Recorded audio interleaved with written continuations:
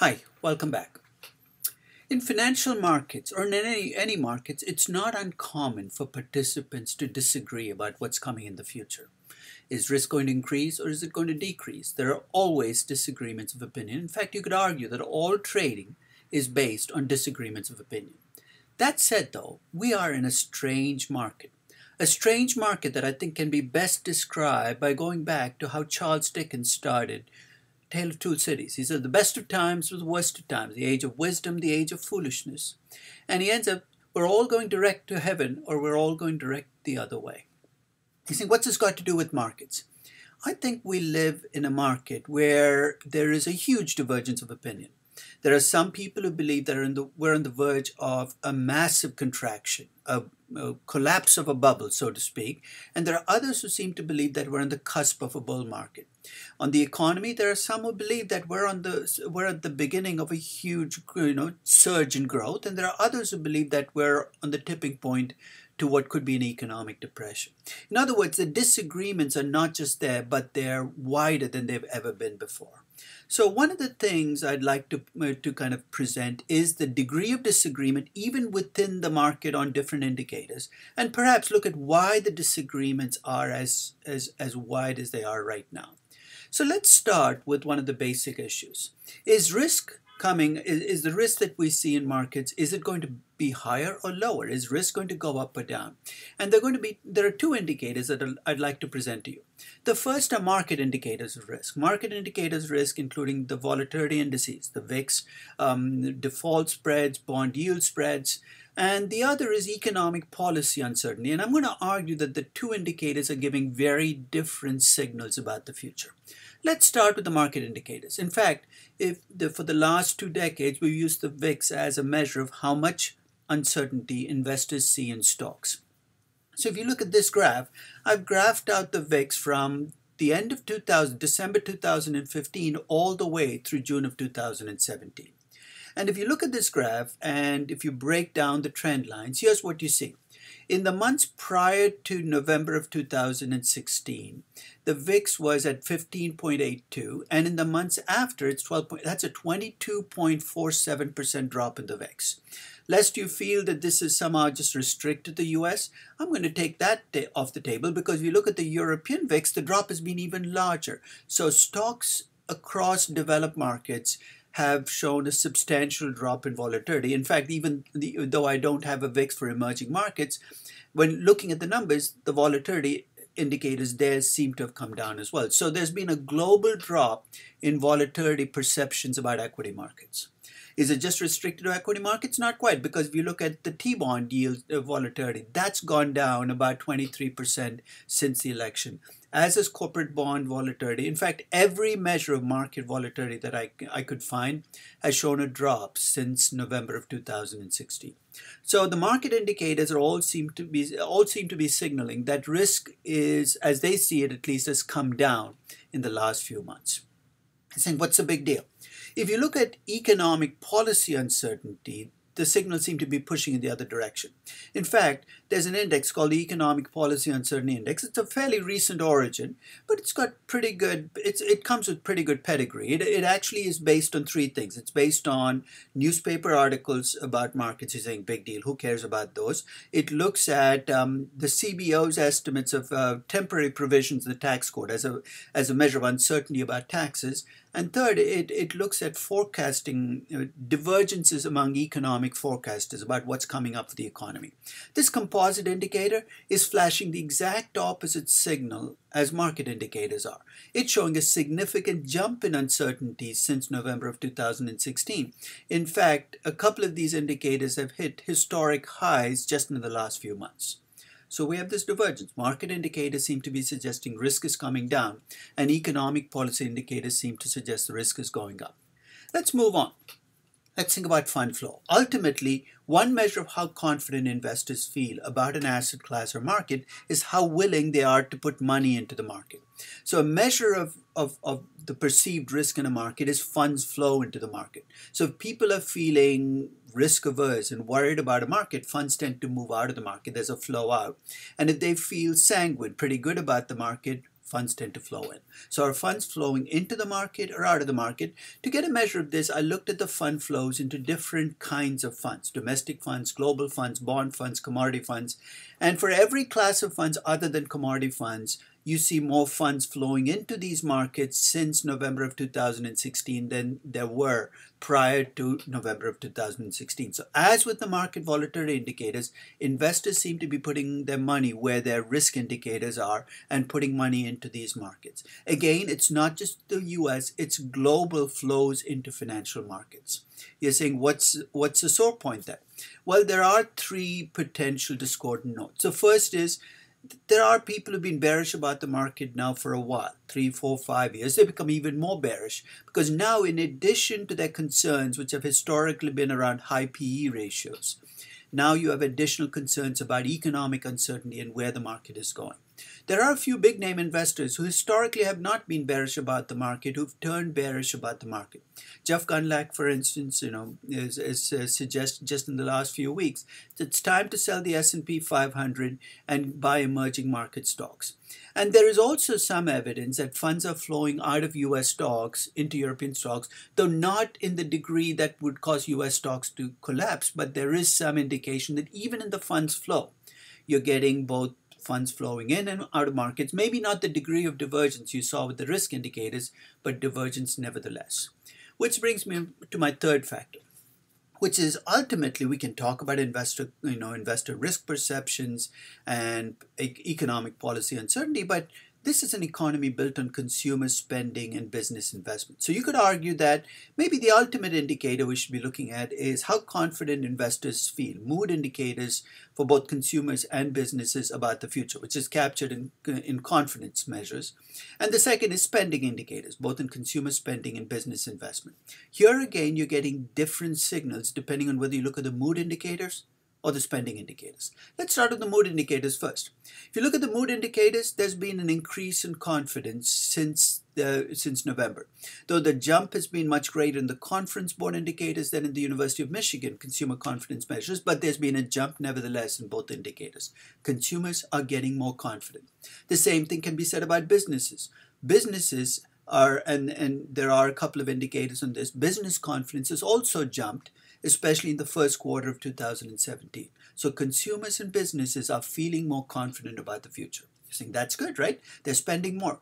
Well, that that's a more of a may. In fact, consumer spending has not jumped. In fact, the growth in consumer spending is very close to what it was last year, both in just in terms of retail spending and overall consumption expenditure.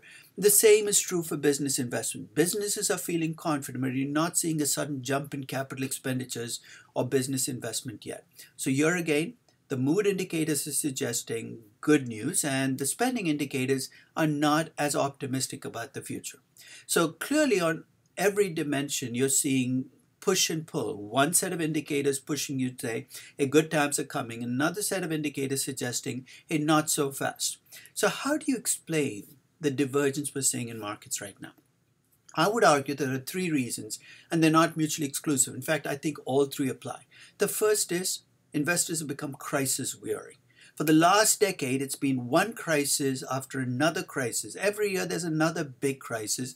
And with every crisis, if you listen to the experts, here's what they say this is the big one. And after about the seventh or eighth of these crises, where they say it's a big one, but markets seem to roll through them, maybe investors are starting to ignore these experts, like the boy who cried wolf, and essentially start to roll with the punches. So essentially, markets, I think, have become inured to crises. The second is, I think markets, uh, there, there's a divergence of views about both the magnitude of economic policy change that's coming and the magnitude of the consequences of that change. Again, if you listen to the economic policy experts, they're all caught up in how much change is coming. But investors have become cynical. They've seen governments, they've seen that governments like to talk about big change, but they don't like to make big change. And they've also seen that when economic policy changes are made, the consequences are never as large as they're made out to be. In fact, I would argue for the last decade, what we've seen is central banks in particular have tried to create policy changes, but the consequences have not been as they expected. So I think perhaps because of globalization, perhaps because of the power of markets, the power that governments and central banks have to alter the courses of economies have decreased and perhaps that's being captured in this in this discordant signals you're getting from economic policy uncertainty and market uncertainty. And thirdly, we live in political times. That goes without saying. And in an age of political partisanship where every news item is perceived differently depending on which side of the divide you're in, why would markets be any different? In fact, I would argue that this is a very political market. In other words, you tell me what you think about the government, and I could probably tell you whether you're bullish or bearish. You know, in fact, in the U.S., this is particularly stark, where you know if you're uh, a, if you're on on one side of the political divide, perhaps a Trump supporter, you feel bullish about markets and bullish about the economy, and the other side of the divide, you're convinced that only bad times are coming. This is a very political market, and perhaps that explains some of the divergence as well. So, what am I going to do? Well, when I'm in doubt, I always go back to my tiebreaker. In other words, I let the numbers tell me the story because if I don't, my biases are going to tell the story. So here's what I do. I compute the implied equity risk premium. This is actually the return I back out of the S&P 500 at the start of every month based on what the index is trading at and my expected cash flows. I have to make some implicit uh, some assumptions to get there, but those assumptions have stayed pretty much the same over time. So if nothing else, this is kind of an unbiased view of what the numbers are saying. And at the start of June of 2017, here's what the numbers look like. The S&P 500 was at 2,411.8. My expected cash flows are outlined there. And based on those expected cash flows and the level of the index, the expected return on stocks, the internal rate of return, is about 7.5%. You subtract out the risk-free rate of 2.21%, the 10-year T-bond rate, and you get an implied equity risk premium of 5.29%. You're saying, so what? What does that mean? Well, to give you some sense of perspective, let me go back and compare this equity risk premium to the numbers over time. The average implied equity risk premium for the S&P 500 from 1961 through 2017 is 4.17%. The average implied equity risk premium over the last 20 years is 4.4%. The equity risk premium June 1st of 2017 is 5.29%. You say, still, so what? Well, here's the way I think about the implied equity risk premium. If that number is a low number relative to history, that's a sign that you should be worried that stocks are perhaps overpriced, overheated. Take a look at the end of 99, that dot-com bubble. The implied equity risk premium in the US dropped to 2%. That was definitely a problem. Today, we're at 5.29%. That's higher than the historic average. So if nothing else, if you just looked at the implied equity risk premium, it seems to be okay. Here's my cautionary note though. It looks okay partly because T-bond rates are at historic lows, 2.21%. In fact, T-bond rates today were what they were in 2007. 4.5%, the implied equity risk premium today would be 3%, closer to the danger zone. So that's the first, first factor that's keeping equity risk premiums elevated is low risk-free rates. The other is U.S. companies are returning historically high amounts of cash flows in the form of dividends and buybacks. In fact, last year they returned just over 100% of earnings as dividends and buybacks, and you could argue that that's unsustainable. So the two worrisome signs are low risk-free rates and cash flows that cannot be sustained. And here again, I can give you some good news and bad news. The good news is, at the start of this year, the T-bond rate was 2.45%. It's actually lower now than it was at the start of the year, notwithstanding noises about the Fed raising rates. The second piece of good news is earnings finally are starting to climb after a couple of years of declines. Earnings in the first quarter of 2017 were up almost 17% for the S&P 500 companies. That's a good news. What's the bad news? Well, it looks almost certain now that the Fed will raise rates again in June of 2000 in, the coming months. But the effect of that on long-term rates, we don't know yet. The second is there are signs that you're seeing a pullback in buybacks, that there's going to be less buybacks going forward. We'll see how these numbers play out, but I'm to keep track of these numbers. So here's where I stand. What do I think about markets? I'm not sure. We could be on the cusp of the biggest bull market of all time or a huge bear market. We could be the cusp of great economic times or a downturn. You're saying this is not very helpful. You're right. I'm not a market timer. That's this is precisely why I'm not a market timer. Calling this market is impossible to do. Anybody who claims certitude in this market is lying.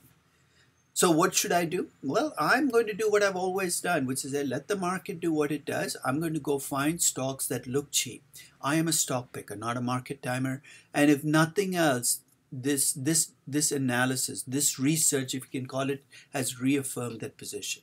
We live in uncertain times we live in times where if you listen to one person, you're going to be told one end of you're going to be at one end of the spectrum. You listen to other, another person, you're going to you're going to be buying stocks and selling stocks like crazy if you listen to the market timers.